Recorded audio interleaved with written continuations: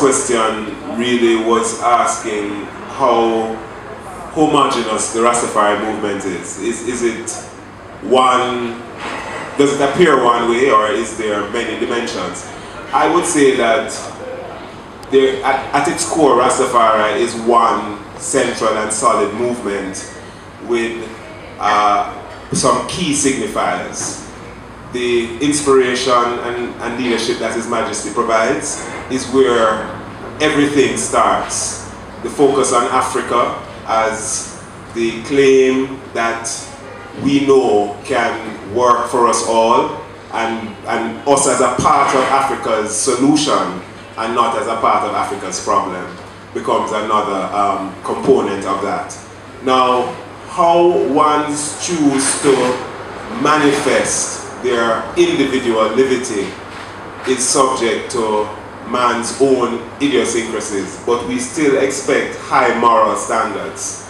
And, and if that is absent, then we question whether the person is really in the fullness of Rastafari.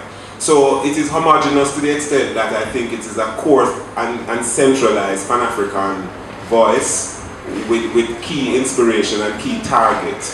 But individuals, I mean, some man want to fly him lock, some man want to wrap him lock, some man don't want locks. Um, you know, and, and, and His Majesty allows us that flexibility. You know, um, if we, we look at Him, um, he, he, he accepts us with what we come to Him with.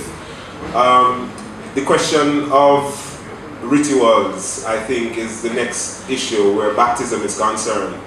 Now, especially in the West, the elders used to say that the Ethiopian identity could only be had through baptism.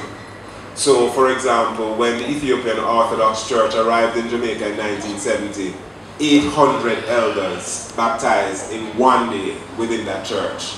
Church was sent by His Majesty and once embraced it. Subsequently, there were issues because some felt that the church didn't honor His Majesty enough, but our direction through His Majesty is that this is our church and this is how we become African because this is an African church. The question about um, the, the brethren I think he's correct, you know. You can't say you're a Rastafari and not hold high honor and regard for his majesty and, and study that emperor.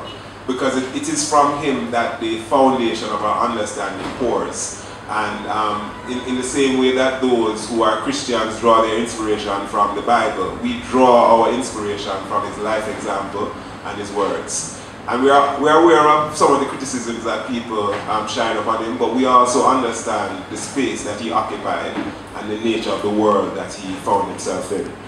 The, um, I think the others were comments, so I'll pass the mic.